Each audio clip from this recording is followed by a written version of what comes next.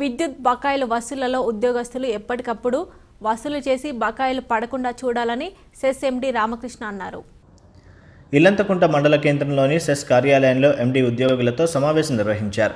ఈ సందర్భంగా ఎండీతో ఉద్యోగులు మాట్లాడుతూ విద్యుత్ సరఫరాతో అంతరాయం కలగకుండా పునరుద్ధరణ చేయాలని సెస్ కార్యాలయానికి కమాన్ నిర్మించడంతో పాటు మీటింగ్ హాల్ నిర్మించాలని సమస్యల పరిష్కారంతో పాటు మిడిల్ పోల్స్ ఎక్స్పెక్షన్ లైన్స్ ఇవ్వటం వాటి గురించి మాట్లాడారు. దీనికి సానుకూలంగా స్పందించారు. కార్యక్రమంలో CESS director Gudise Ailaiah Yadav DE Raghupathi AAO Jagadish online Ravi గారు AE Harika LI Ravinder SA Zaheer మరియు అన్ని గ్రామాల సెస్ సిబ్బంది పాల్గొన్నారు.